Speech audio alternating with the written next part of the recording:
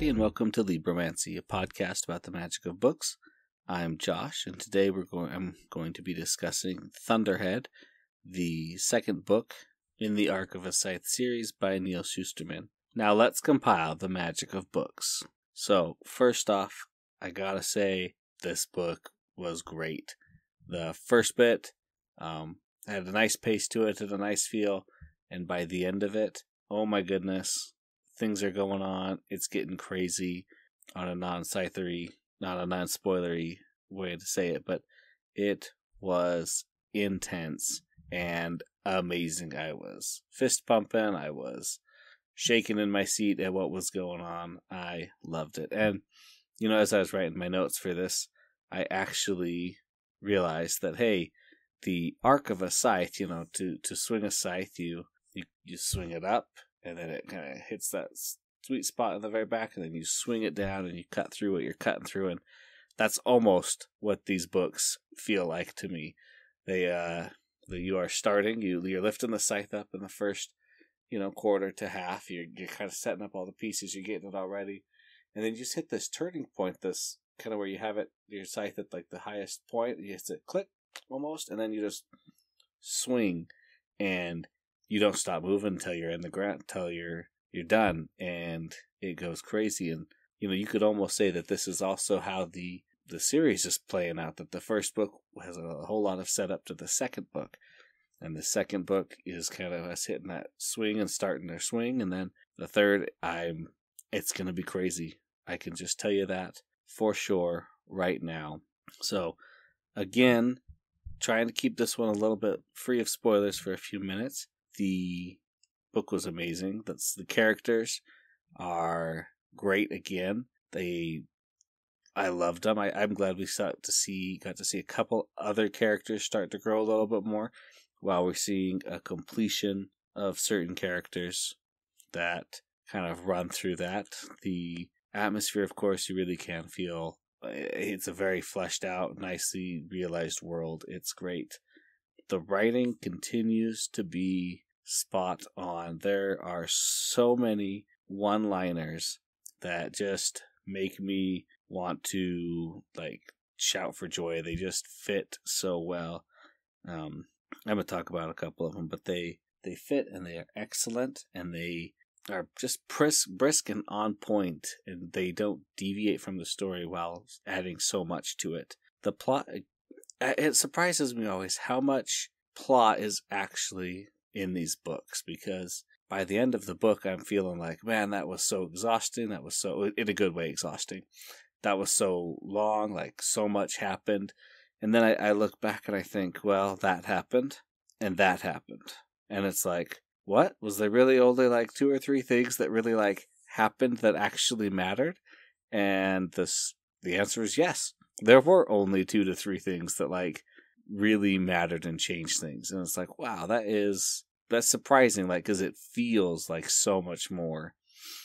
So, and of course, I enjoyed it. It was it kept my interest. I was reading it, uh, you know, every time I got a couple chances. And the cover art for Thunderhead only improves the cover art from Scythe. It is just amazing.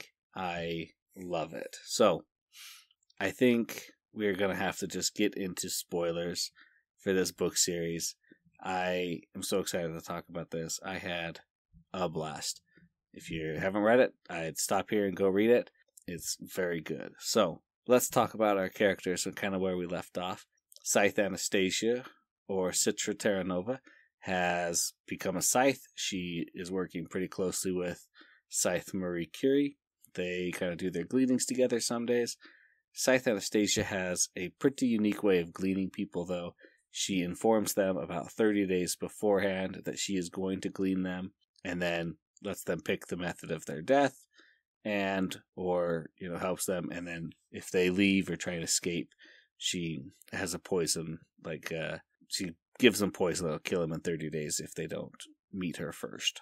Scythe Lucifer, otherwise known as Rowan, is running around hunting down the bad scythes, the scythes who take pleasure in murder and not gleaning, and they are in it for the the the letter of the law, like we talked about in Scythe, versus the spirit of the law. And that is cool. We see him capture one, and then he actually lets one go because he's like, hey, you know, straighten up and I, I will come back. And that was so cool. Um, Tiger is an idiot. Tiger is an idiot. I just. My best friend, who is also a scythe, is telling me that something's wrong, and I just don't believe him. I want to be a scythe. I'm so cool. No, you're just bad. Bad kid. So bad. I feel bad for him, though, in the end because of, of what happened. So, and I loved, I absolutely loved having the Thunderhead as our epigraphs. They were so well written and so amazing. They were always on point, they were relevant, they explained things. It was so good to see that. I loved the Thunder the Thunderhead's personality because it has a definite personality and I love the way he wrote about it. It was crazy good. Um, and Grayson Tolliver, who wants nothing more than to be a Nimbus agent and to serve the Thunderhead, but because the Thunderhead can't have any contact with the Scythes, Grayson Tolliver is his workaround. It's like, oh, Grayson, by the way, well, in a roundabout way, of course. It's like, by the way, did you know that there are these two Scythes that are going to get murdered? I can't do anything about it. And if you do anything about it, you'll be kicked out of the training program you're in. And he's like, well, this sucks. Stupid Thunderhead. You know what I'm going to pick. And he goes and saves them by blowing themselves up, by killing himself on their car before they reach the explosives. What Grayson Tolliver, super underrated, super amazing. Let's talk about him for a minute because I just I got to. So he he saves their life. He's kicked out of his program. He's deemed an unsavory, which is a unique concept and pretty cool that people who kind of don't want to follow the rules instead of going to prison, they're just labeled unsavory. They kind of have their own groups. They can go to their own things. But he is labeled an unsavory, and he is basically secretly given an undercover mission because his handler is like, uh, "Yeah, I'm the one who told you about that scythe that you had to go save, and here I am in the corrections office. Coincidence? So you need to keep doing what you're doing and see why why the Thunderhead has brought you here." And they make up this good backstory, and he kind of exaggerates. He's getting in with these unsavories, and then his his agent is gleaned and if that wasn't a sign that somebody knows a little bit too much of what's going on, or was it just an accident somehow that Purity was able to get? See, that's that's where I don't think it's the accident because Purity. It's kind of implied that Purity did it for him. That he was always complaining about his agent, you know, playing up the part, and so Purity had his agent gleaned.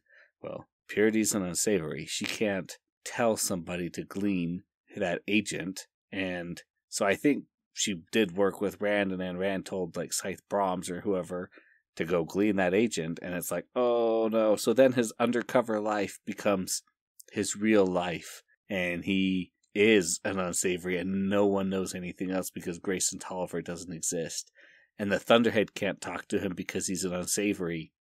It's that was just like, oh my gosh, and then him going to live with the the tones and the tone tone cult and being like, "Oh, I'm here," and oh my gosh, I I, I keep saying oh my gosh, but like every part of this of his story was was just so like heartbreaking and like amazing though. So then he's he's basically praying to the Thunderhead like give me a sign tell me i haven't been forbid for like forgotten like i know that you can't talk to me because i'm an unsavory and like that's the rule but like tell me, like show me, like do something. Let me know that I'm not like all alone and I'm not forgotten. And it shuts the Thunderhead shuts down all the lights to the city for like 1.3 seconds and then flickers them and turns them on. And it's like, oh my gosh, so amazing, so amazing. And then at the very end of the book, right after the Thunderhead screams and produces static on every device ever, like freaks out, and then it's like Grayson Tolliver, we need to talk, and it's like oh my gosh, it does remember Grayson. Obviously, it remembers Grayson, but like it used Grayson's name. It somehow marked him as an unsa- a non unsavory, while marking everybody else as an unsavory in the entire world. What is happening? Oh my gosh! So we're gonna actually have to go back to Scythe Anastasia and Scythe, Scythe Lucifer's story to figure out the rest of what's going on, uh, because oh my gosh, I'm so excited for Grayson. Oh, and I loved that. This is just one line I wanted to put out there that the Thunderhead is talking about the Office of Unsavories to the reader, and he says, "Yeah, the Office of Unsavory, you know, unsavory people or the unsavories have a need to rail against the system. They just they have that drive." And he's like, "So I created a system for them that works for them. So while they're in my system, they're still like within my system, but they feel like they're revi- they're revolting against the system." And so he, you know, he brings them into the line, and they have to sit down and wait. They have to take a number and he has all these arbitrary things set up that they can hate that you know helps them like get out that need to rebel and fight. And then you know he's like and then the other hand's like eh, eventually most of them work their way back to a normal life and live happily ever after. And very very occasionally do i have to do a memory wipe and i hate it and i tell them and every one of them just thanks me and lives their life the rest of the way you know all happy and good for the rest of it so it's just so good so let's go back to Scythe Lucifer. Let's do Scythe Lucifer first. He's hunting down the bad scythes, and then he learns that Scythe Brom, the scythe he let go, uh, gleaned his father and gave his family immunity. And it's like, oh, Scythe, Scythe Rowan, please, Scythe Lucifer, no, don't do it. Don't go back to his house in anger. But of course, he does go in anger, and he is captured, and I really thought that would be the end of it. That it was just going to be torture and killed, or like thrown in the the feet of the High Council, and how would Scythe Anastasia, you know, rescue him? But it was so much worse, so much worse. He's taken to Texas, the lawless land, and I'm glad the Thunderhead's doing experiments. But Thunderhead, please don't just let people run wild and do whatever they want, crazy man crazy computer, don't you know what people are like? So he has been captured by Scythe Rand, and Scythe Rand forces him to fight Tiger over and over again because Tiger is under the crazy delusion that he'll be made a scythe when he gets no training at all other than getting beaten up by Rowan. And he's so ah, that's why I had to say Tiger is such an idiot because he just ignored all the warning signs and I just no bad bad tiger. So he is beating Scythe Rand. Or Scythe, excuse me. You Scythe Rand has captured him and is having him beat Tiger up basically. And then they come back one day and Tiger is a little different. And whose head is on Tiger's body? But Scythe Goddard. That was very surprising. I did not believe it. I was like, what the heck? No, he burned to death. Well, obviously first I was like Scythe Rand burned to death. I watched them, and then it's like no, we didn't technically watch them, and she was able to crawl away and get healed, and the the Thunderhead can't do anything about that because they're scythes, and the Thunderhead has no control over scythes or no connection to scythes at all, which is just a horrible rule that they built into the site the system. Like instead of saying absolutely no contact between the scythes and the Thunderheads, why don't we do like minimal contact or like you just can't solve their problems for them, but you have you can like help them with certain things. Ah, so but how do you tell it who to work for and who's good and who's bad? Well, it can run a thousand simulations, so it would know. But then Goddard is back and he walks in and he is, you know, able to work and move. They were able to save his head and bring it back in Texas where there's no cameras and the Thunderhead isn't watching as close. But secret it is watching as close. It's just doesn't have as many cameras and can't really see. It is that. Oh my gosh, I just realized something. I know now what the third most inco- important conversation the Thunderhead was listening to was. And it was about the Scythedom, the island of the Scythes. I forgot its name, I'm sorry. But Scythe Goddard it gets put in the running because he's back. He comes back. He gets put in the running for the High Blade, against Scythe Curie. and Scythe Curie and Scythe Anastasia are able to stave it off and create an inquest saying, "Hey, Grand Scythes, uh, he is only seven percent Goddard because his head's all that's left. The ninety-three percent that's left is this Tiger Kid and hasn't been trained body and mind, so he's not fit. So they they all go to the the, the island of the Scythes. There's no gleaning there because obviously it's just Scythes and their families, and that was crazy they decide that Goddard, yes, he needs to serve a year apprenticeship and then he can go back to scything. And he freaks out. And, okay, excuse me. He freaks out.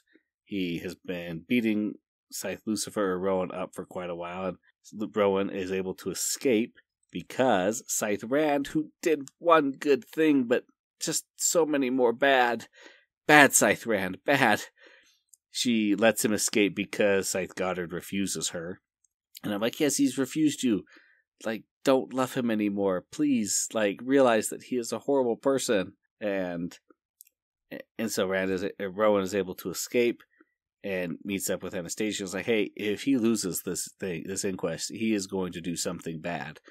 And he sinks the entire island of all the scythes basically killing all of the scythes so nobody knows that he isn't fit and of course like that he's crazy to begin with but not to be undone scythe curie starts gleaning the people you know i love that that was it was they have such a weird and a good slash bad relationship with death that when she starts killing people because not just killing people of course but she's gleaning them because it is it is their du- duty to help people achieve get to death and to be comfortable with it. And that's kind of what they've been expecting and they're not ready for it to go bad. And it's like that totally makes sense like that these people would be happy to get gleaned because that's what they've been prepared for. And then all of the scythes self glean except for two Scythe Anastasia and Scythe Lucifer, who were tricked by Scythe Curie and locked into a tomb in a vault. So they're basically in a like hermetically sealed container and they'll live at the bottom of the ocean. Well, they'll die at the bottom of the ocean, but eventually it will wash up on shore and be found by the Thunderhead, and the Thunderhead will bring them back to life, and they'll be able to hopefully stop Scythe Goddard. But that, I mean, everything I just said happens in like the very end of the book, and the beginning is all set up and payoff, and it works so well. And very quickly, I have to remember, remind everybody, Scythe Faraday is searching for the land of Nod, where they had a clue that this is an island of the Scythes, another island where if the Scythes fail, I don't remember the quote, I'm so sorry, but you can go there and kind of fix things. And I'm kind of excited to see what's going to happen with that. And I love that the Thunderhead is like watching them learn this information, and the Thunderhead's like, oh, hey, yeah, I've never routed anything over this particular spot of land because nothing good is there. It's not good to route things over that. And he's like, wait a minute. Why have I never noticed this little spot of land? And why do I keep trying to forget this spot of land? And that it's burning through trying to figure stuff out, and then it kind of does. And I just love this book. Okay, one small thing before I kind of close up. Scythe Beyonce. Uh, get those crappy names out here. Not Scythe Beyonce is not a horrible name, but it was just really funny. And I was like, well, that's funny. That throws me off because everybody else, for the most part, picks scientists or, you know, like great philosophers and such. And Scythe Beyonce as far as I know, is not a philosopher, but a great singer. So that is going to cover everything I have to talk about. Thunderhead, the second book in the Arc of a Scythe series by Neal Shusterman. It was so good. Thanks everybody for listening. You know, please rate and review this wherever you hear and listen to it. It really helps drive others to it. If you have any questions or comments, you know, email me at libromancypod at gmail.com. And remember to compile the magic of books.